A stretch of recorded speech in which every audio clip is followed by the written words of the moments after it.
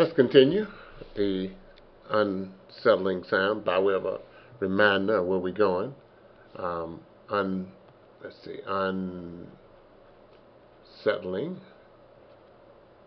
T, T. Let's just do this over again, totally. And unsettling.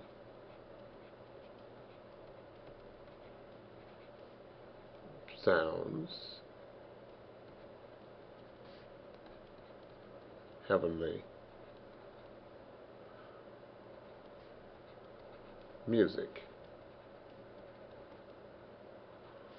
And this is 001 and series 103.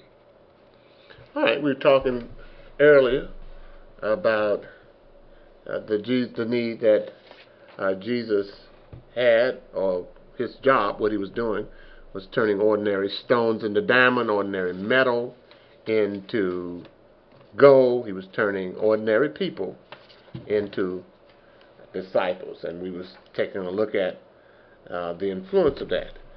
Now we want to take a look at how Jesus moves. He he moves in a very mysterious way. Say we'll say that this is Jesus, Jesus, and then we'll say he moves and and then we'll kind of say uh, in two centers and we'll put our two centers here.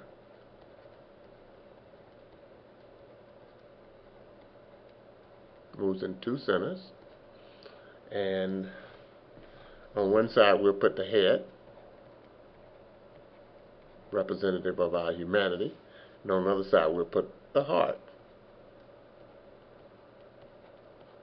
Also representative of our humanity, but oftentimes this is incompatible with, the head is incompatible with the heart. And we're going to call these centers energy.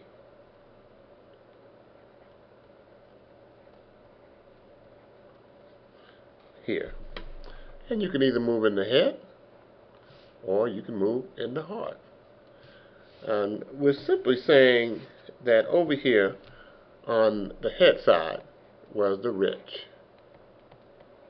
Usually, they have used their intelligence or their intellectual accumulation to benefit themselves.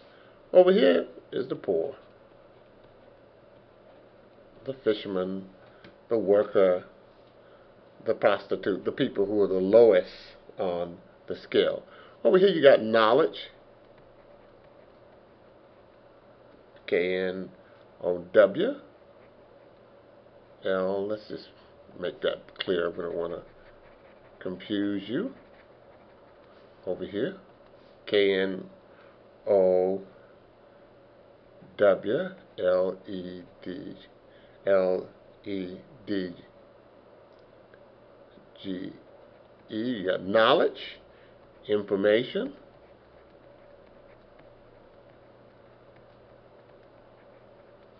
Over here you got mind. You got thinking.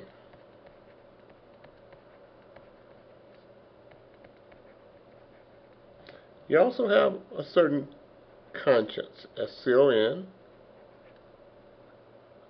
S-C-I-E-N-C-E, conscience. You got thought.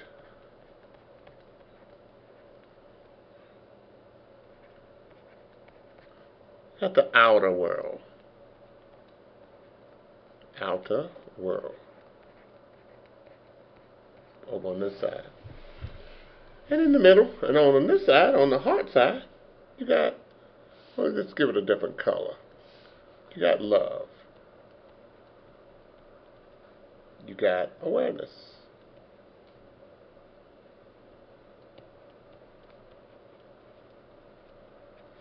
You got consciousness.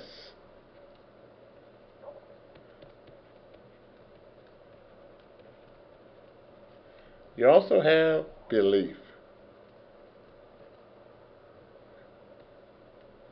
Belief, let's spell that correctly. B E L I E, F. You also have faith.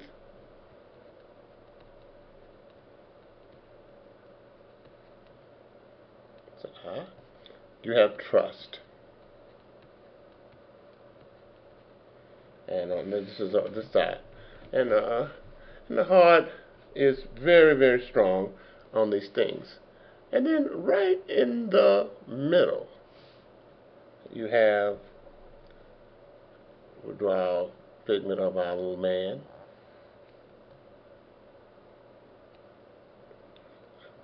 We'll give him a heart here. And then we'll give him sort of a semi-smile, but we'll put the mind here. And here's the heart. Okay, so when we take a look at this, the challenge before we put his arms on is to, and he's got, he's trying to balance the head with the heart. This is very rare. It's very rare to be able to balance uh, this balance. Of course, we know that Jesus was able to Jesus was able to balance this. Right? He was a Jesus was a perfect man. It takes a perfect man, a perfect human being, a perfect God to balance the head and the heart. This is a Christ consciousness.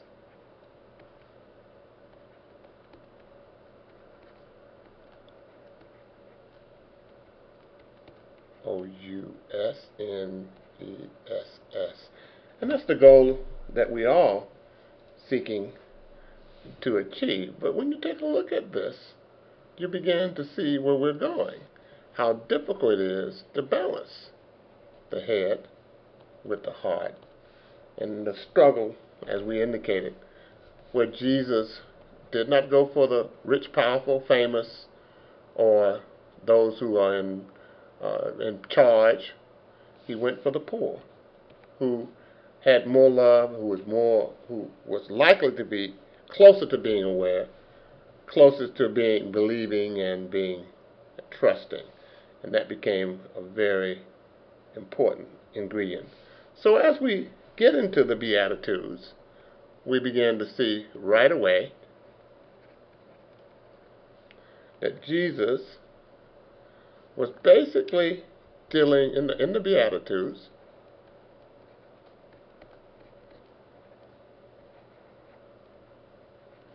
we see uh, Jesus' Beatitudes is God singing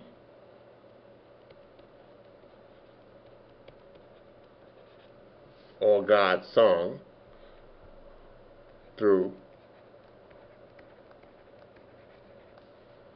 Jesus.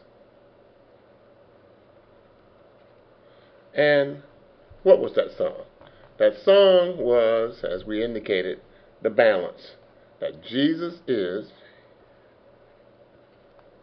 Jesus is the medium.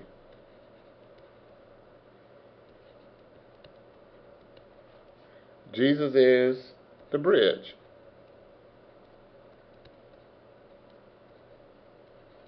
Jesus is the passage. This is our bridge. The passage. That Jesus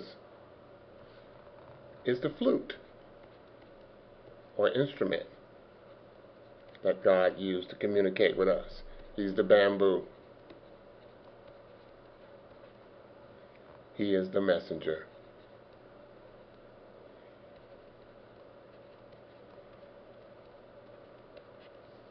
and the heavenly music.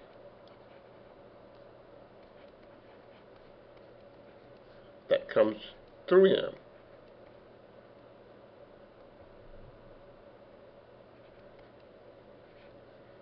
is the music that's for us all. When we share it,